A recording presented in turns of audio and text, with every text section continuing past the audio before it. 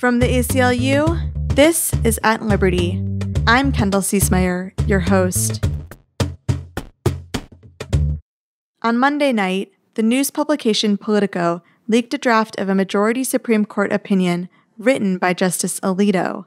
The draft details the highly anticipated decision in the case of Dobbs v. Jackson Women's Health Organization, known more broadly to the public as the case that could overturn Roe v. Wade.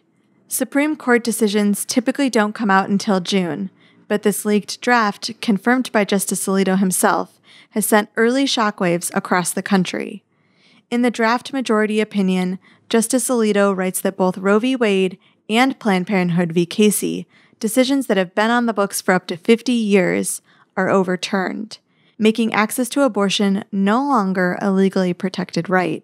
Should this draft hold, this decision would turn back the clock on progress for people who can get pregnant and call into question much more than access to abortion. Joining us today to help us make sense of it all is Brigitte Amiri, the Deputy Director of the ACLU's Reproductive Freedom Project. Brigitte, thank you so much for joining us. Thanks for having me. So, Brigitte, a lot has happened in the last day, and it's causing a lot of confusion, a lot of disbelief.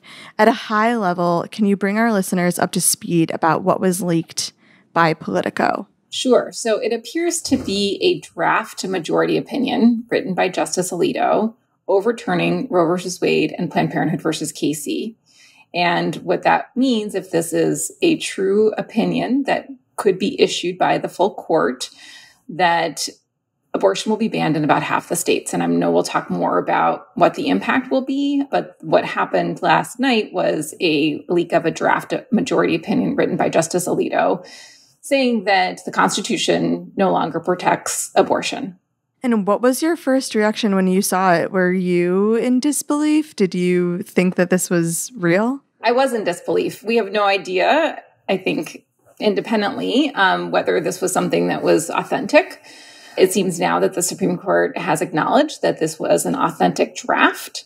Uh, it's dated February, so presumably it's a little bit outdated. But when it first hit the airwaves, I was skeptical of whether it was authentic or not. Um, but to be honest, we have been preparing for the possibility that the Supreme Court could overturn Roe just based on the questions that the justices asked in this case.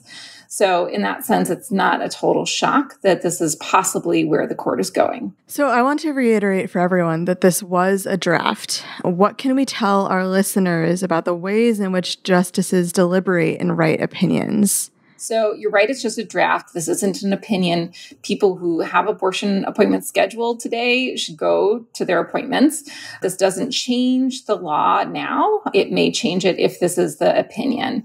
But we know that drafts go back and forth among the different justices until there's a majority that people have signed on to.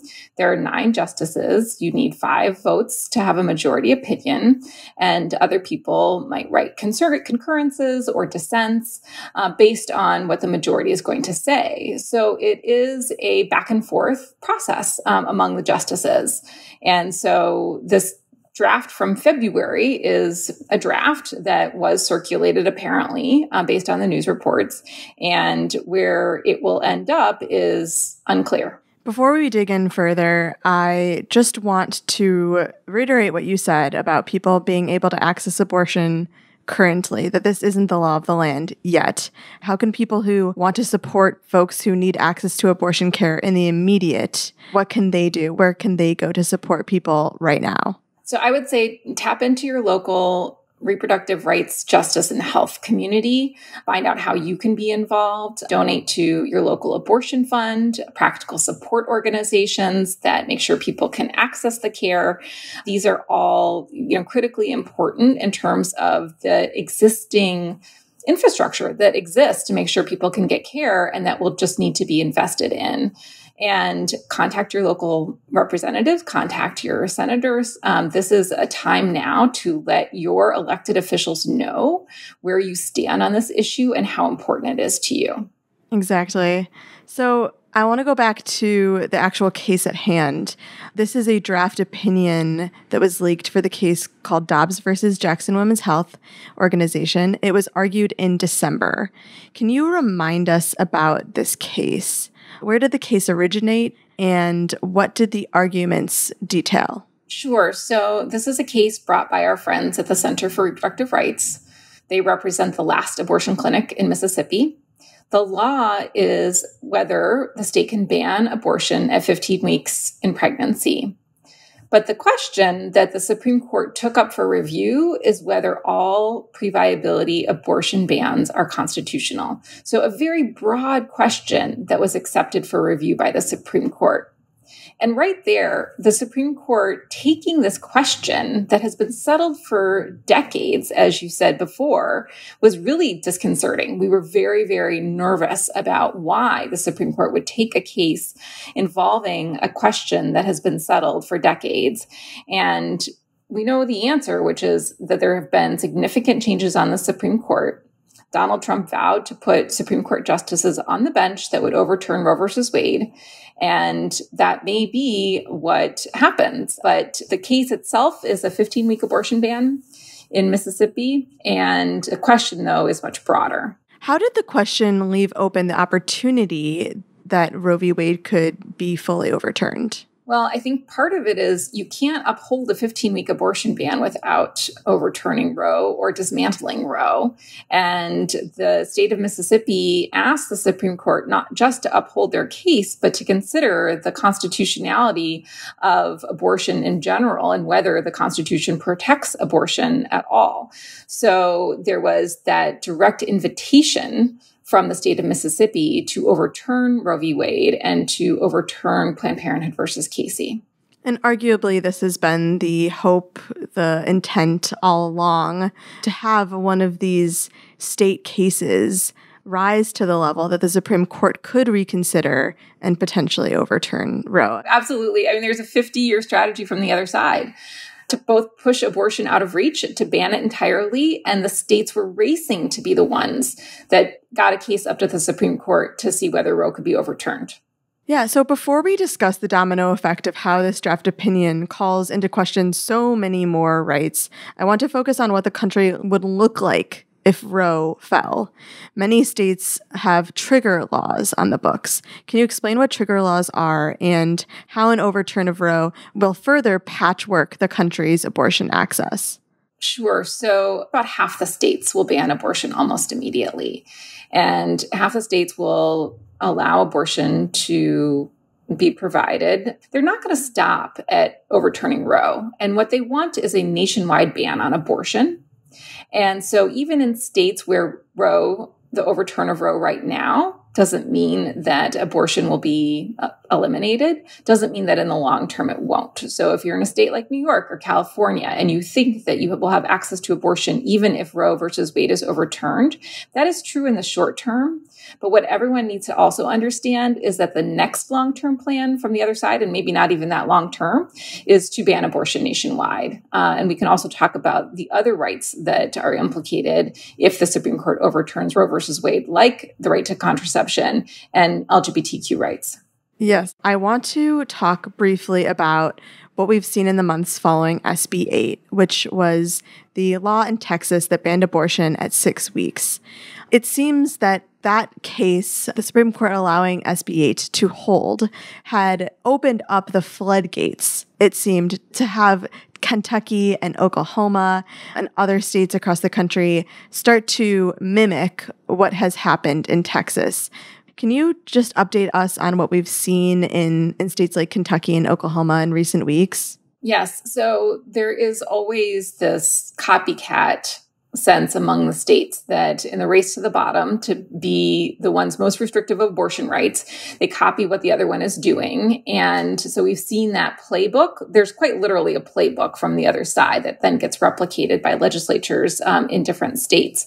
And so the SB 8 law that you've mentioned in Texas was something we'd never seen before, which is a law that allows anyone to sue someone for providing an abortion after six weeks in pregnancy and seek at least $10,000 in damages and prevent the provider from providing other abortions in violation of the law. And that has shut down abortion access after six weeks in pregnancy in Texas, um, forcing people who have the resources to flee the state to get care after that time. Uh, and for those who can't leave the state, they're forced to remain pregnant against their will. And what we've seen in surrounding states is uh, similar attempts, like in Oklahoma. For example, you just mentioned Idaho passed similar bounty hunter laws like Texas did. Uh, in other states, we're seeing different types of restrictions. So, Kentucky, for example, passed a 72 page law that took effect immediately. It was effectively, as one person called it, a abortion ban by red tape that it created a catch 22 for abortion providers, requiring them to come into a whole host of new laws, uh, compliance with new laws, but not giving them any time to do so. The law was effective immediately and it was impossible to comply with. Um, and it shut down abortion provision in Kentucky for a week before a judge could rule um, blocking the law. And so everything, you know, is very I would say tenuous um, in the states, you know, where we are still battling to keep access, and uh, in the surrounding states, in particular with Texas, we are seeing people having fewer options, or may see fewer options to in terms of travel and where to go. I want to pick up on what you've said about the lack of access and also the expectation that we had at some level, especially after SB 8 and especially after the December 1st Dobbs arguments, that we could soon see an overturn of Roe. The com- greater community fighting to ensure reproductive freedom has been working day and night. You know this better than most to provide stopgaps where we can for people who need to access an abortion. So I'm wondering if we could just at least detail a few options that people are working on in order to help folks in the event that all of this does come to full fruition because I think folks are really really concerned and I I want to be clear that that we're also working on a lot of different options for people to have access even if that would happen.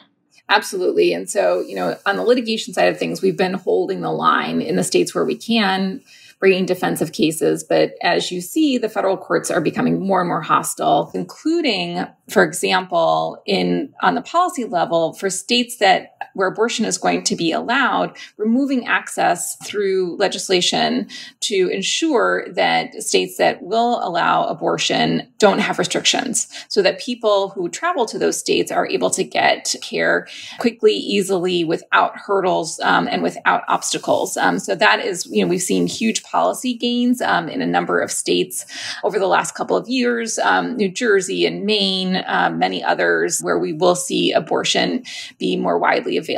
We're also working on telehealth abortion and removing restrictions on access to medication abortion.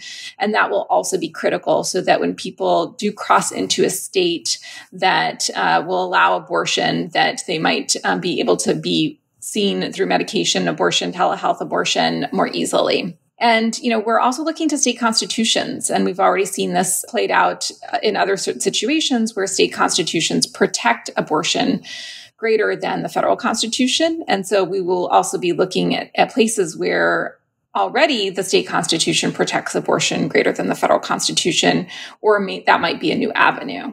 Thank you for detailing all of those efforts that people are going to to help fight back against this. So, Texas is the place in the country that's living most closely like a post Roe reality.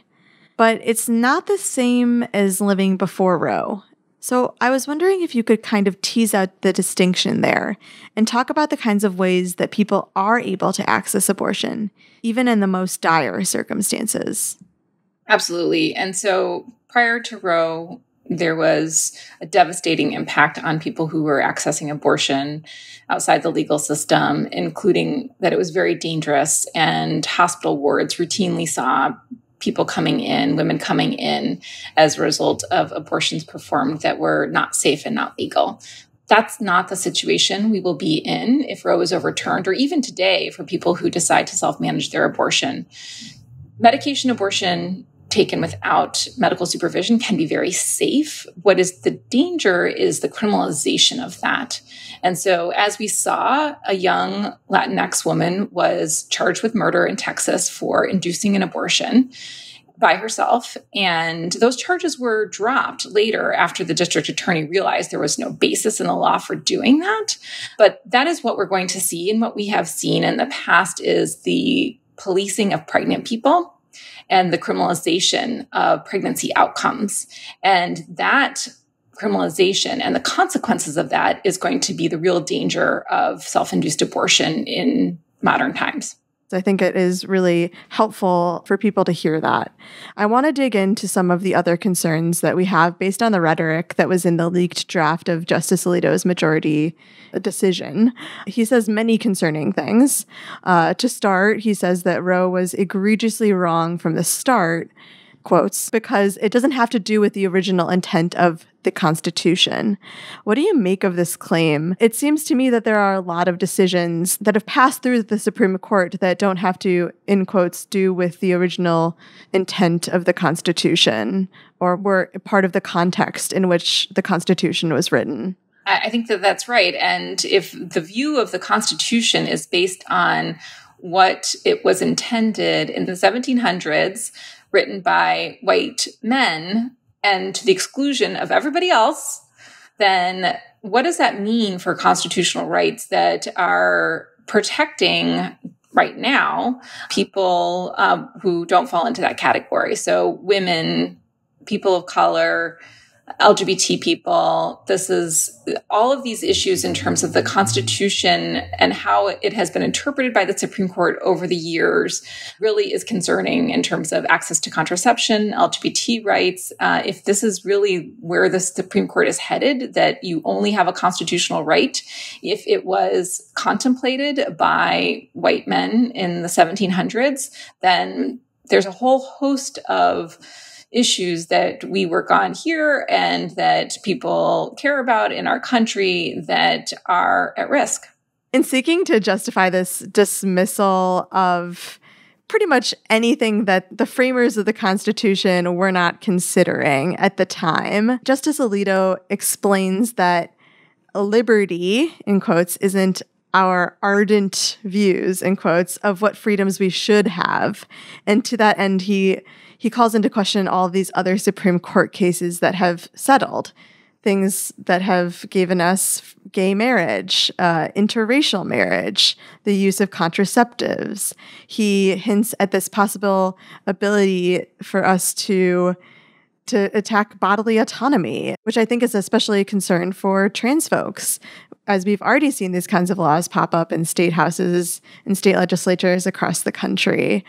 I wonder how this draft and this broad umbrella that Justice Alito is painting over all of these rights that don't fit, again, into this context of what the framers of the Constitution would have wanted. How does this open the door and show favorability, maybe even encourage state legislatures to usher some of these laws through? It's really concerning. It's not a secret that this is what Justice Alito has thought for years. And Justice Scalia before him and Justice Thomas, we, we know this is where they stand.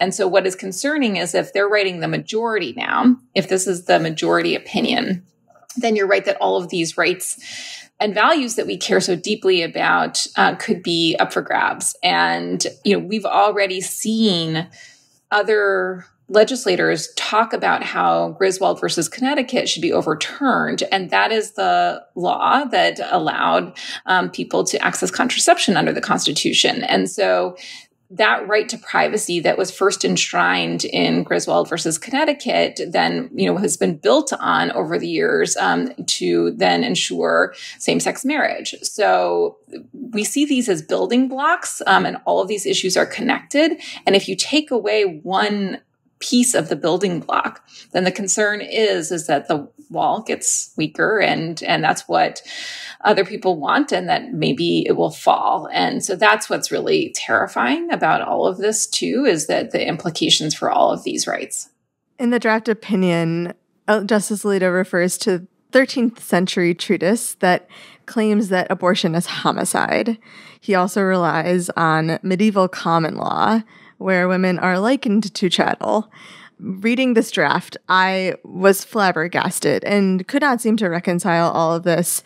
Arguably, I would imagine that when the decision actually finally does come out, that some of this language could be pulled back in the final draft. Despite that, it is hard to see this window into the logic into and honestly into a lot of political viewpoints of a sitting justice that has a lot of power and is now in the majority.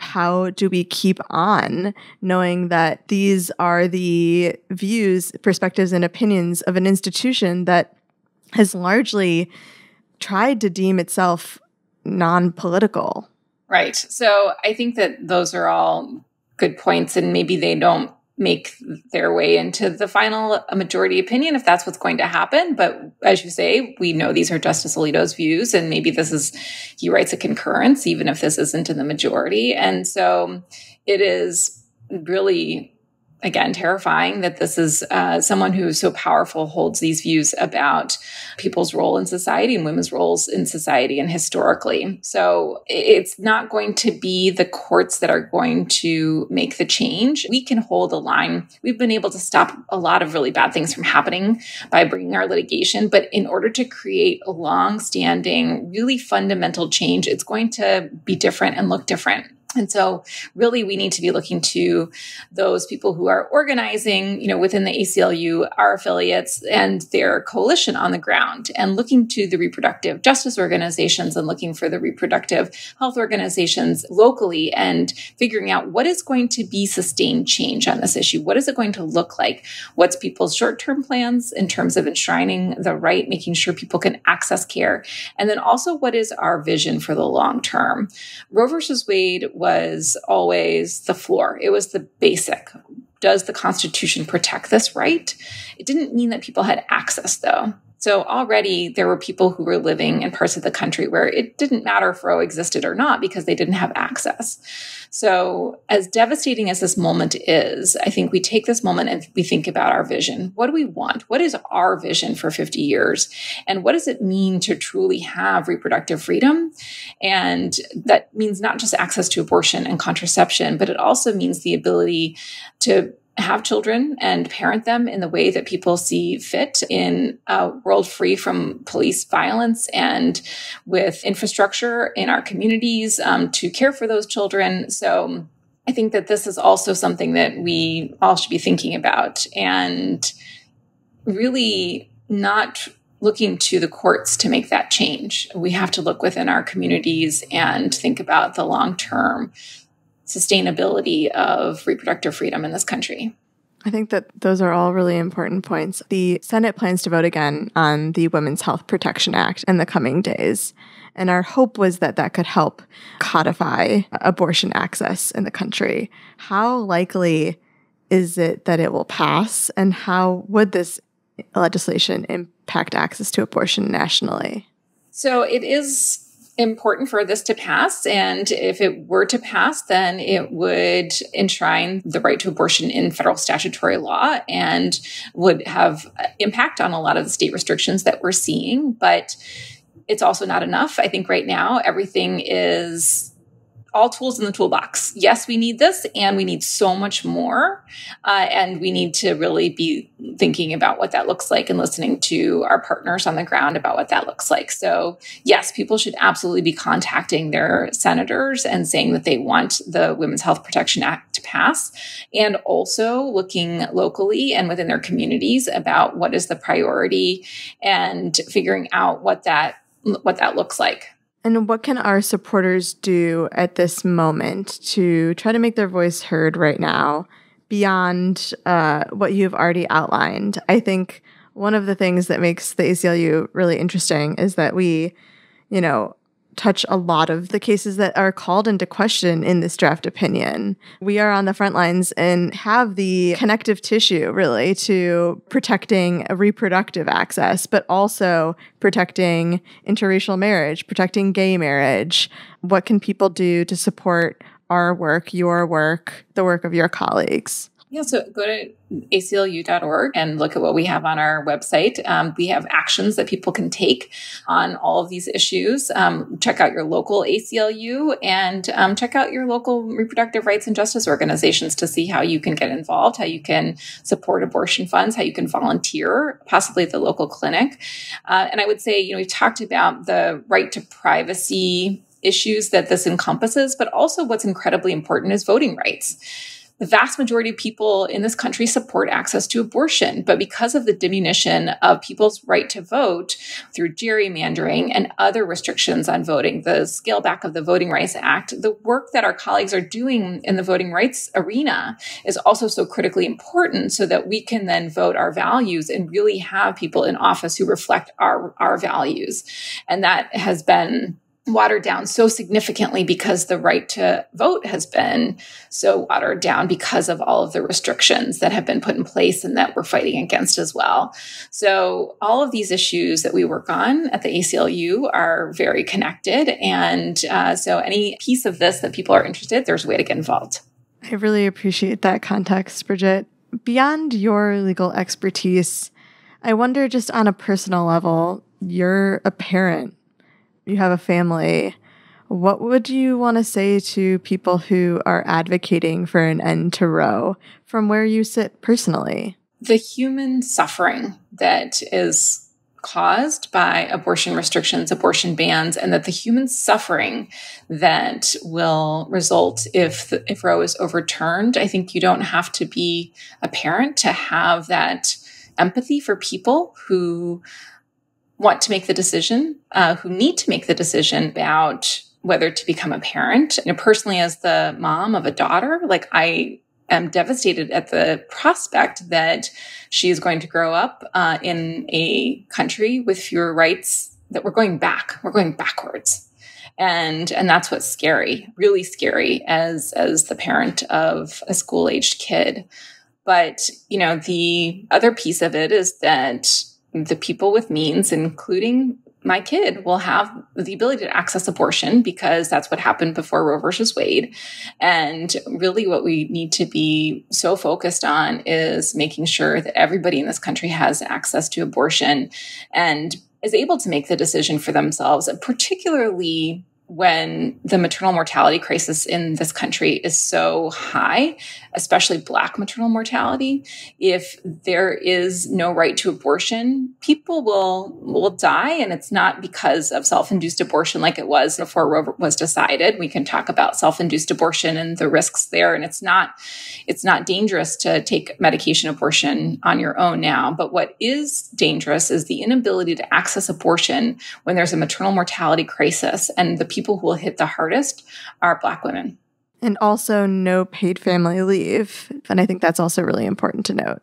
Yeah, all the systemic racism um, in our country, the systemic racism in healthcare, the lack of resources, it all contributes to this as well. It's certainly all part of the problem. And I just hope that we can create the world that all young people will be proud of. Brigitte, thank you so much for your work and for joining us and helping us piece through all of this. We really appreciate you. Thanks for having me. Thanks so much for listening. We have a long fight ahead of us, but the ACLU was made for moments like this. To donate to support our fight against the attack on reproductive autonomy and all the attacks that follow, please visit aclu.org slash keep fighting. That's aclu.org slash keep fighting. Thank you so much for stepping up and working together with us. Until next week, stay strong.